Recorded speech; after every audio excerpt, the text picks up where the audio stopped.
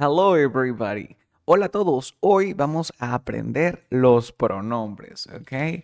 The pronouns. Hoy aprenderemos los pronombres.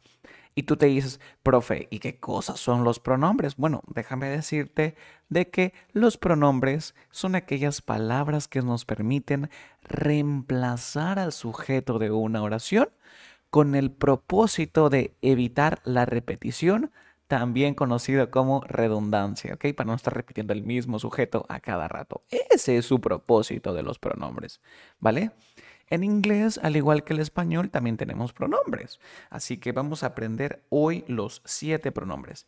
El primer pronombre es I, I. El segundo pronombre es you, you.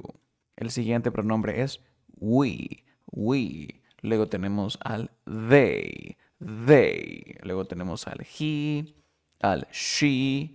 Y por último tenemos al pronombre it, it. Vamos a practicar un poquito la pronunciación de cada uno de ellos, ¿ok? El primero es I, I. You, you. We, we. They, they, they. He, he. She, she.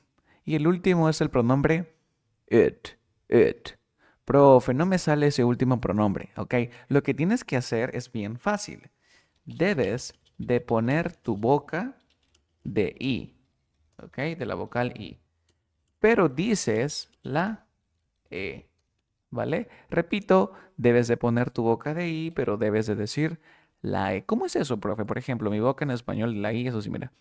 Y y es una boca cerrada. Y, y ahora digo la E. E, E, E, E. Literalmente estoy diciendo una E, pero con mi boca de I. Ahora diría it, it, it. ¿Se entendió? Espero que sí. Ahora vamos a ver qué significa cada uno de estos pronombres, ¿ok? El pronombre I significa yo. O sea, si tú quieres decir yo en inglés, dirías I. ¿Qué significa el pronombre you? El pronombre you significa tú pero al mismo tiempo significa ustedes, o sea, tiene doble significado. Y tú te preguntarás, profe, ¿y cómo voy a saber cuándo significa tú y cuándo significa ustedes? Eso lo vas a obtener por el contexto. Te voy a hacer un spoiler.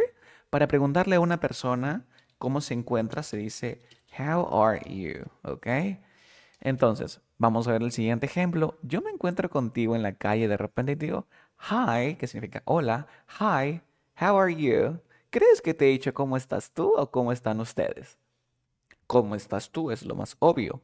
Pero ¿qué pasa si ingreso a un salón de clases y digo, Hi, how are you? ¿Crees que específicamente te he saludado a ti o he saludado a toda la clase y significará cómo están ustedes? ¿Te has dado cuenta?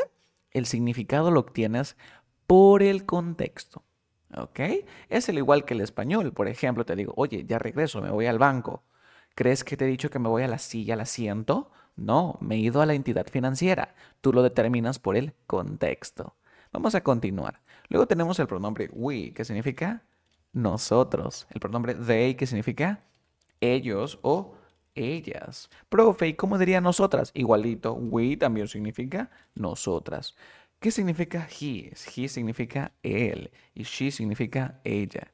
Y es aquí donde viene la primera eh, duda o el primer concepto erróneo en la educación. Dicen de que el pronombre it significa eso. Dicen de que el pronombre it significa lo. Repito, el pronombre it no tiene una traducción al español. ¿Ok? Entonces es imposible que me digas que significa eso. ¿Por qué? Porque en inglés existe una palabra que es that. Y that se traduce al español como eso. ¿Se entiende, chicos? Entonces, recuerda esto el pronombre it no tiene una traducción al español, ¿vale? Entonces, profe, ¿cómo voy a usar el pronombre it si ni siquiera sé lo que significa? No te preocupes que más adelante te voy a explicar a detalle cómo usar este pronombre.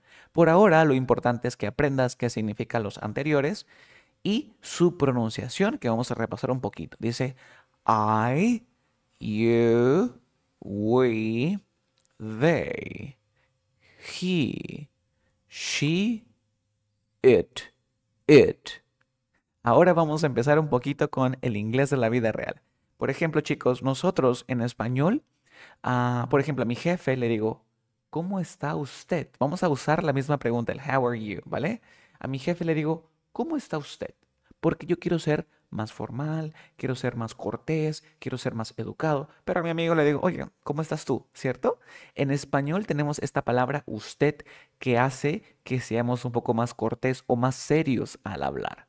Déjame decirte que en inglés eso no existe, o sea que a tu jefe le dirás, how are you? Y a tu amigo, how are you? O sea, es lo mismo, es lo mismo. No existe esa palabra usted en inglés. Y listo, hemos culminado nuestra lección del día de hoy, así que te espero en la siguiente. Bye bye.